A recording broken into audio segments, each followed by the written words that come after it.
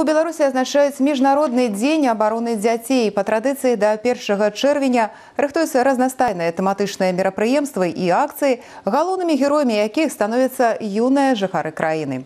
У прынёманні ў першы дзень лета актывісты абласной арганізацыі БРСМ зладзілі дабрачынную акцыю, якая атрымала назву разам з бацькамі. У яе межах было праведзена добраўпарадкаванне 30 гульнявых пляцовак у дварах, дзіцячых садках, сацыяльна-педагагічных цэнтрах. Як гэта было ў відэаматэрыяле. Адной з цэнтральных кропак для прыкладання рукай сіл валанцёраў у грудні стала дзіцячая пляцоўка на вуліцы Караткевіча у маладым жылым мікрараёне Альшанка. З самага пачатку да навядзення парадку падключыліся мясцовыя жыхары, маладыя сем'і з дзецьмі. Мне кажется, это очень прекрасно выйти с детьми, показать этим самым им пример, э, что ну, не нужно ждать помощи со стороны, а можно выйти и сделать все своими руками. Тем более 80% э, э, наверное, своего времени дети проводят на улице улице. И насколько прекрасно выйти на улицу, когда здесь облагорожено, когда здесь красиво, когда здесь покрашено. Тем более, э, немаловажно тот, наверное, момент, что они сделали это сами. Основны фронт работы на гэтай пляцоўцы ўзялі на сябе актывісты аграрнага універсітэта. Падтрымаць і дапамагчы студэнтам прыйшла і рэкардсменка Беларусі ў скачках з шастом Ірына Жук.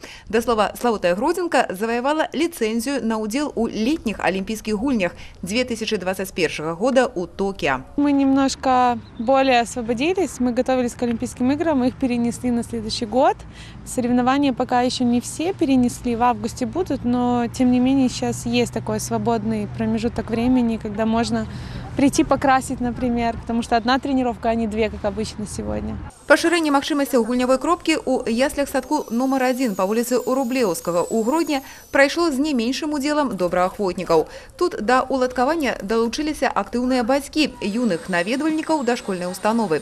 Адны з такіх Вадзім і Татьяна Сідар. Іх дзеці наведваюць гэты садок. Подсыпали песок в песочницу. Вокруг песочницы были вытоптаны чуть-чуть ямы, дети играются не везде. Поэтому подсыпали, чтобы там все было ровно, красиво.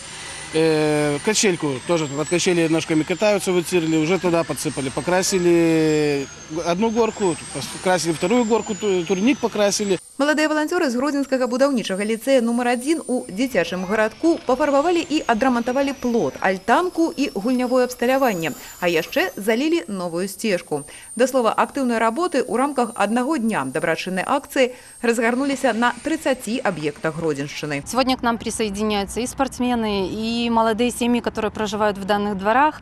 И, наверное, только вместе, только разом Э, мы, сохраняя то, что уже построено, приумножая это, мы сможем сделать нашу малую родину еще краше. Ну а самое главное, это показать нашим детям э, реальный пример хороших, реальных дел. Азначым, што з 1 чэрвеня ініцыятыва гродзенскага абласнога камітэта БРСМ набыла рэспубліканскі маштаб. Справа ў тым, што далучыцца да акцыі разам з бацькамі выказала жаданне моладзь іншых рэгіёнаў краіны. І як стала вядома, адпаведныя мерапрыемствы паўсюдна ў раёнах вобласці стартуюць з 8 чэрвеня.